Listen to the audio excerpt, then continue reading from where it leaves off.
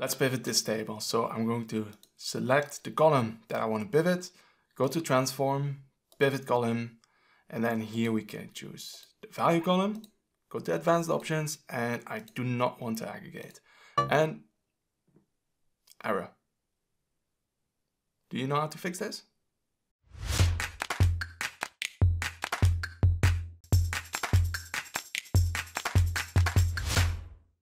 Welcome to How to Power BI. My name is Bas and if this is the first time for you visiting this channel then make sure to hit that subscribe button if you want to stay up to date on everything Power BI related.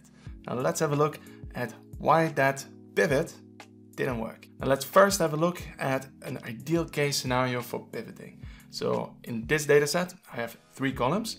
The first column contains the employee names. Then for these employees, we are storing the information for different attributes. For example, the office, department, starting date.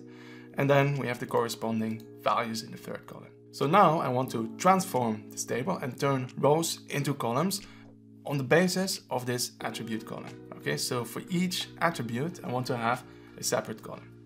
Now we can do this with the pivot transformation. So I go to transform, pivot column, and here the column that we want to have for the values, that's the value column here. And then we can go to advanced options. And then we do not want to aggregate the values, but we want to show the actual values that we have inside of the value column. And that gives me the pivoted result. However, let's now make a small change to that underlying data set. So I'm going to take out one column and now we only have the attribute column and the value column. And the names of the employees, well, they turned into an attribute, right? So we do not have a separate column anymore for the employee names. And I'm going to do exactly the same. So I want to take the attribute column and then go here to transform, pivot column, then the values column. Well, that's that second column over there, the values, and we do not want to aggregate. And now it doesn't work anymore. And the error that we get is that there were too many elements in the enumeration to complete the operation.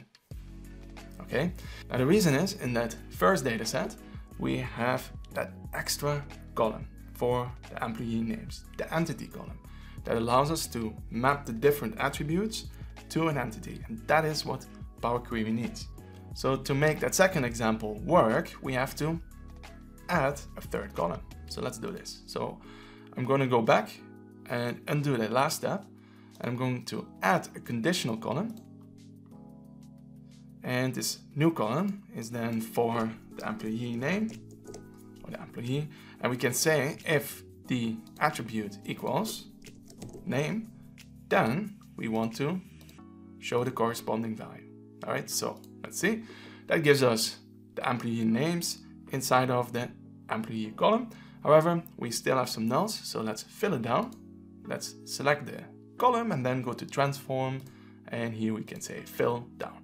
All right, so now we have three columns. Let's give it another shot. So I'm going to select the attribute column, then click on pivot column. And over here we set it to do not aggregate. And we fixed it. You see? So keep that in mind. You need to have three columns, otherwise it will not work. It needs to be able to map the attributes to the entity.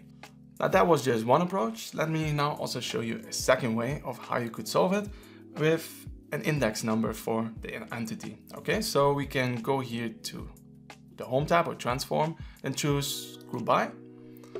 And here we can switch to advanced and we want to group by the attribute. And here we want to keep all of the rows.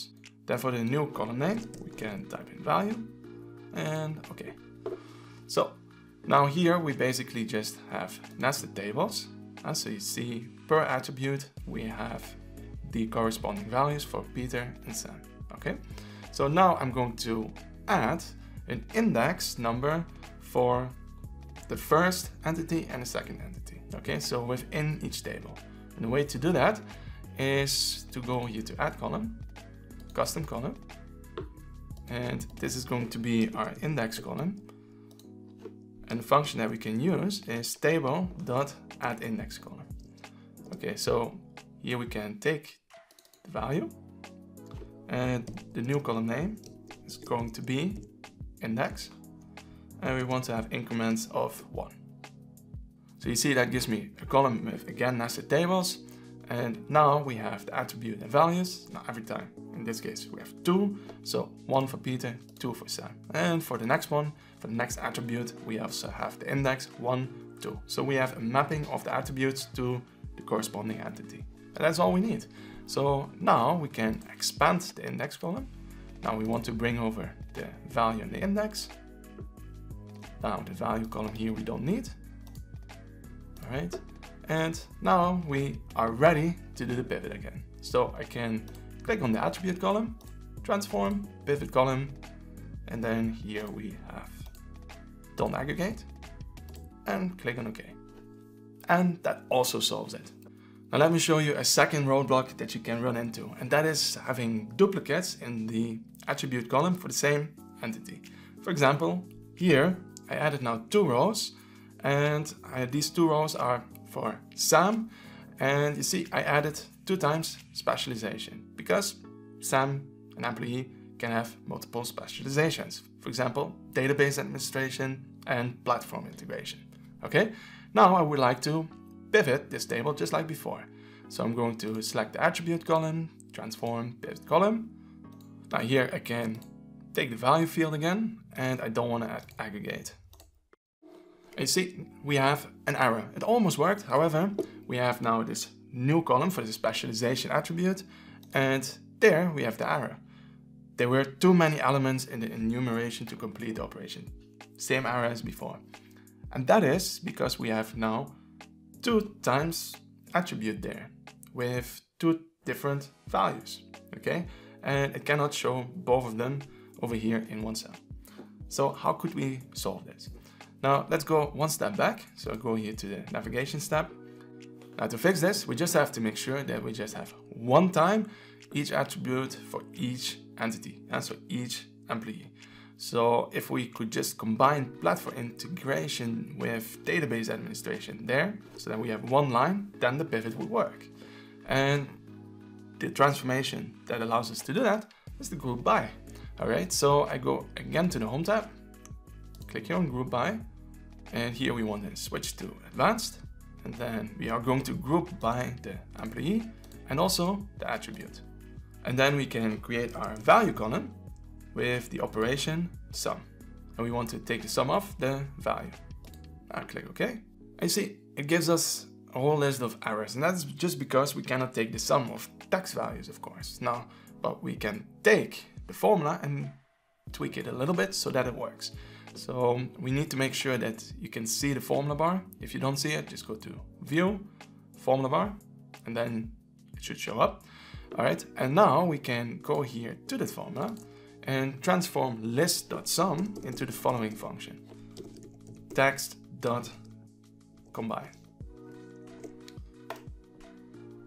And now it almost works. Now let me make this column a little bit wider. You see, there we have database admin, platform integration.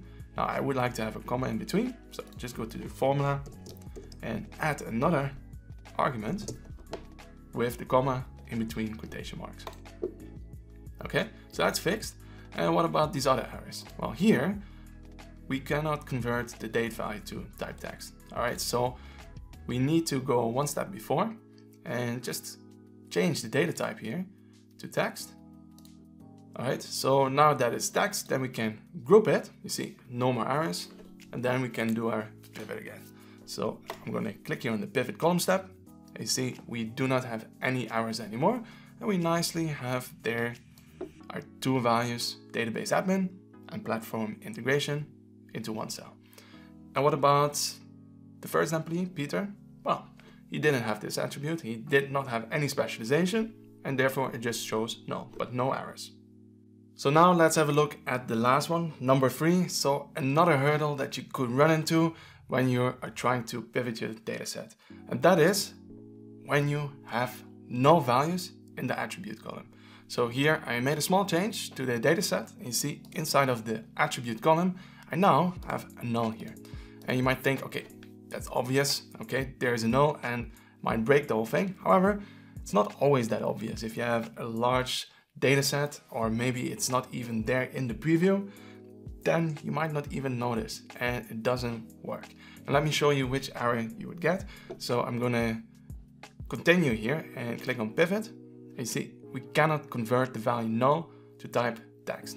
So make sure that before you pivot, you go one step before and choose the attribute column and remove all of the empty cells in there. And you see, that would fix it. I hope that pivoting datasets is not gonna give you any troubles anymore. Now maybe you run into a scenario that wasn't covered, then let me know in the comment section below. And if you haven't subscribed yet, then make sure to hit that subscribe button I hope to see you in the next video.